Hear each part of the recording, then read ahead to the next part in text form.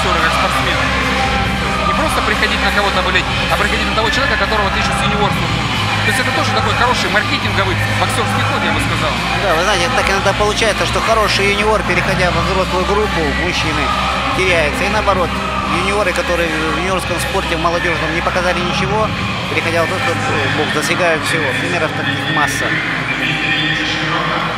Вот э, есть же некоторые видов спорта говорят, что э, вот у тех же хоккеистов, там, вот, 20 лет не заиграл, не беда, он заиграет в 25-30 лет. У боксеров можно так говорить, что когда-то есть такой самый золотой возраст, когда он, он, он должен, он может, он обязан. После этого уже тяжело. Ну, конечно, расцвет такого серьезного любительского бокса настигает где-то в 23 года, 24-25. Ну, хотя вообще это так все субъективно. Мы знаем много чемпионов, которые именно достигали, переходя только сразу с юниоров 19 лет. То тот же Костя Дюм вспомним, много-много других. И наоборот. То есть такой тенденции нет? Конечно, Арат Хаматов, который именно, именно уже когда ему было 27 лет, он стал чемпионом мира. Ну, вот пока у нас... Роман, ну представляете, сначала представляете боксеров. у нас Лепихин Кирилл, город Тюмень, 98 год рождения.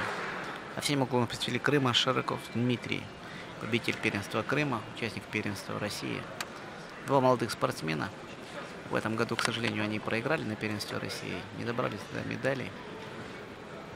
Но это боксеры очень хорошего уровня. Это перспективные спортсмены, которые в будущем могут занять лидирующие позиции в своих регионах, в Тюмени в Крыму. Это для них хороший экзамен. И опыт как раз таки, да. Ну, я, в этом бою мы тоже увидим совершенно разные манеры.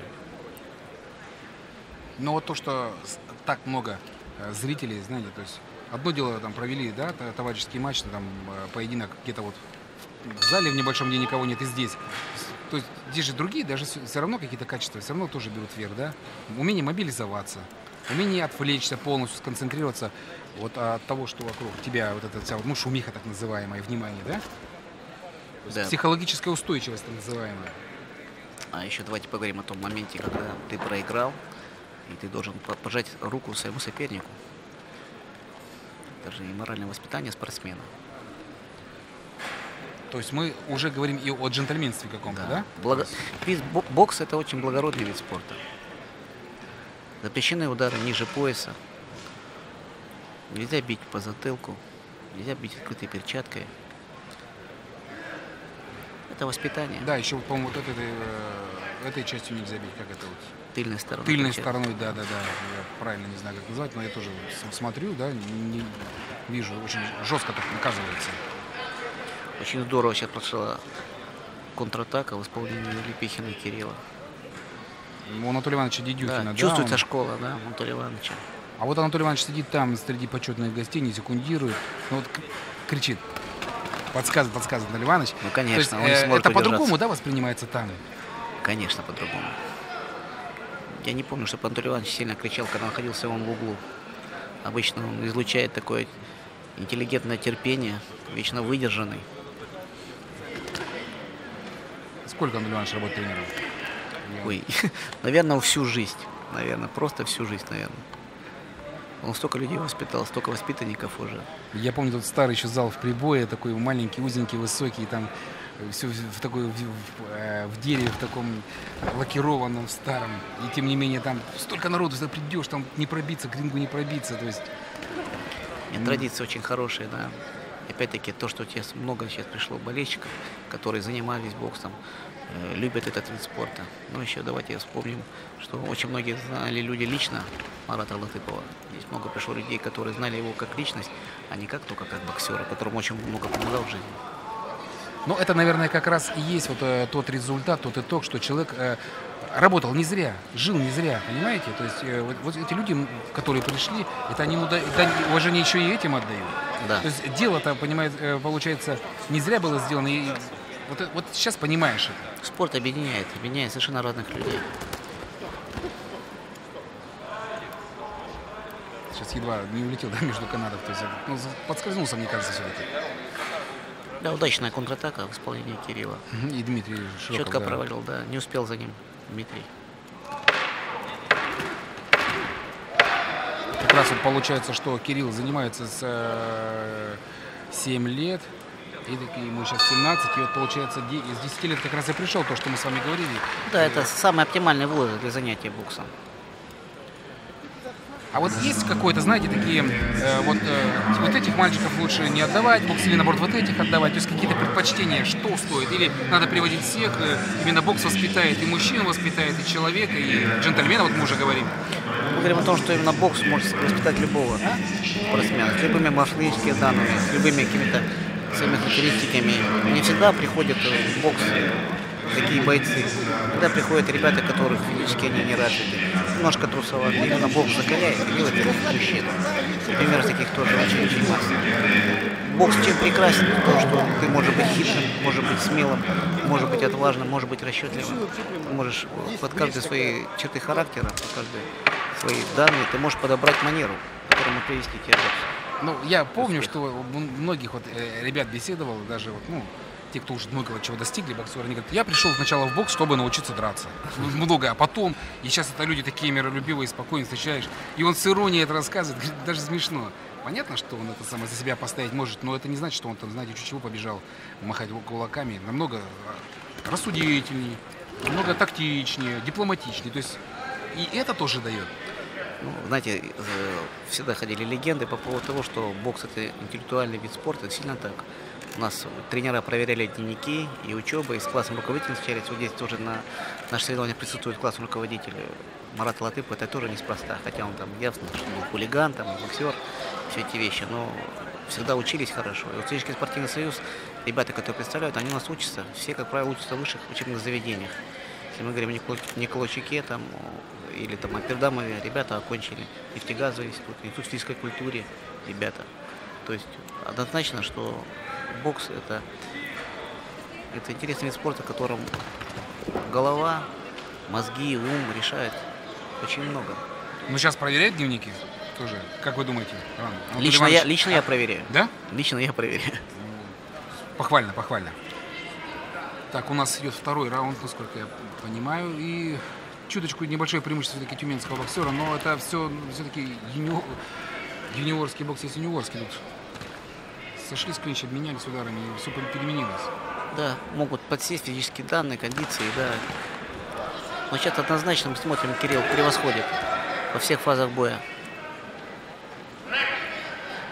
Анатолий Иванович подсказывает, Анатолий Иванович Дедюхин подсказывает, я вот э, буквально отвернулся, посмотрел. Да, Своевременная подсказка, да, стоит вот, очень дорого. Роман слышит, да, вот боксер на ринге?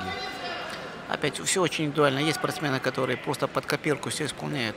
Есть те, которые сами принимают решения, есть те, которые вообще не слышат. Подсказка может и, э, с одной стороны мешать, с другой стороны это может быть просто эмоциональный заряд, услышать голос родного человека. А может и просто какая-то техническая подсказка может сработать. Поэтому в боксе все так очень шатко, все, все нюансы всех не назовешь. Все очень важно. Что-то Что может сработать, шлема, да? Я смотрю, да-да, расстегнулся шлем. Ну, это, как всегда, шлема, которые сейчас вот фирма Adidas Top Ten, они не должного такого, как бы, нет, не, недостаточно хорошо рассчитанные. Поэтому это обычное дело. Это не какой-то ход тактический, ничего, это вот... И вот и одна из того, что именно отказали от шлемов, потому что во время поединка частенько такие вот шлема слетали с головы. Поэтому вот мужчины отказались именно от шлемов. Это одна из, как бы, одним из причин было. Роман, а сколько вот э, в, в Российском студенческом союзе вот, э, ребят занимается? То есть есть какая-то статистика? Вы знаете, ну, статистика такая есть. Я... О, смотрите, как четко навстречу пробил. Кирилл, четкое попадание. И хорошо перешел в атаку. Ну, почетче, мне кажется, просто да. почетче, да, поэтому... Во всех фазах боя, да, все видит. И ну, в атаке, и контратаке. Заряжен, заряжен. Можно так сказать, что он более заряжен Заряжен раз, техническое превосходство два, да. Классом повыше Кирилл однозначно. Хотя одного возраста ребята, да, да. получается? Нет, боксом занимается Дмитрий 4 года, а Кирилл 7. Ну, это, это вот сказывается, я так скажу, что...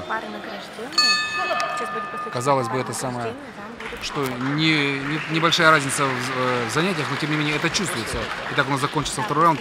Я так думаю, что он как раз и остался вот за Кириллом, и он еще больше подчеркнул преимущество э, тюменского боксера.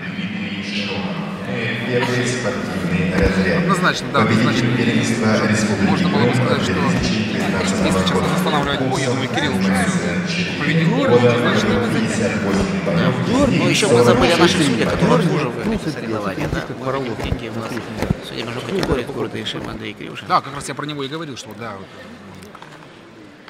Ну, судьи же, это же и тренеры, да, это вот он здесь, он судья, приезжает домой к себе, и он Не там- всегда. Не всегда, да? Раньше это было как, как за правило. Сейчас, слава богу, ну, не может тренер объективно оценивать поединки. Что там он говорит. Вы говорите, что он все-таки где-то симпатизирует кому-то. Конечно, да. Кому-то нравится одна манера, вторая, и все-таки это сказывается. То есть должен быть институт профессиональных судей, чтобы быть э, объективным, Сейчас чтобы у Федерации чётким. бокса он создан, да, наши судьи очень высокой квалификации, очень ценятся наши судьи на международной арене. Сможет сейчас, интересно, вот э, Дмитрий переломить ход поединка, потому что тут э, однозначно он уступает. И ему надо Обязан, вперед, да, надо форсировать, конечно. Иначе победы в этом бою ему не видать. Смотрите, когда очень рационально, очень так заряженно подошел Кирилл вот э, Смотрите, успешная атака прошла. поединку, и вот мы смотрим, да? Не подпускает вот, я смотрю даже, да, особенно на экране это видно на мониторе, что вот насколько дистанция больше. То есть здесь вот так мы смотрим, ее не видно, а на дистанции держит, не дает подойти, да, и встречает его.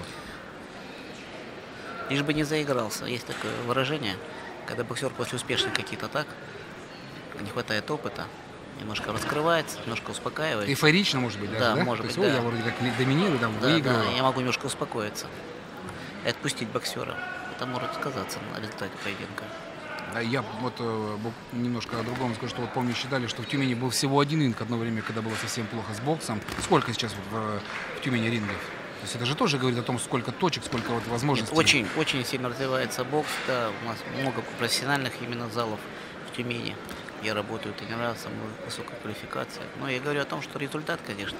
А я даже в Фитбере видел вот, э, э, фитнес-клуб, там тоже ринг стоит, Ну, бокс популярный вид спорта. что меня удивило. Сейчас кстати. очень много женщин занимаются, им. занимаются не профессионально, занимаются для себя. Очень много оздоровительных программ, фитнес-программ, которые осуществляются именно благодаря боксу.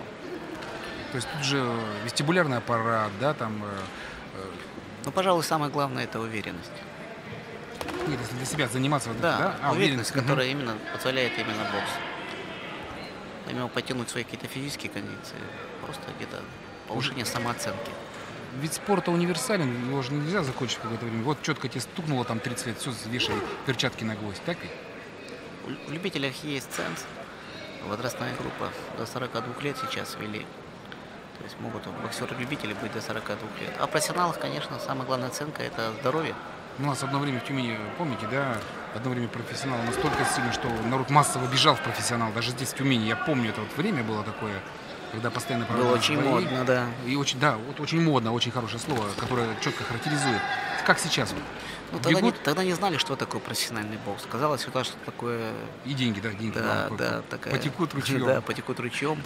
Были уверены, что первые бои была такая. А потом, когда столкнулись с более серьезным уровнем, конечно, это очень тяжелый вид спорта, очень. Я помню, и во Дворце спорта проводили, и в цирке проводили, где только не проводили эти, и на Верхнем Бару, много где проводили. Вот, едва ли не каждые полгода у нас проходили профессиональные бои. там. Очень, очень сложный вид спорта профессиональный который отнимает здоровье очень много. Ну что, Роман, резюмируйте. Ну, однозначно красный угол. Это Лепихин Кирилл. Я думаю, не оставил он шанса все-таки Дмитрию. Чего не хватило? Вот? Я думаю, Дмитрию. просто опыта. Кирилл более, более такой боксер, который понюхал пороху. И результаты он и победитель федерального округа неоднократные. Да, да, вот тут э, Да. не- несколько лет подряд. Спартакиады, Мгм. да. Ну и звание как там мастера спорта. А у Широко Дмитрия только первый.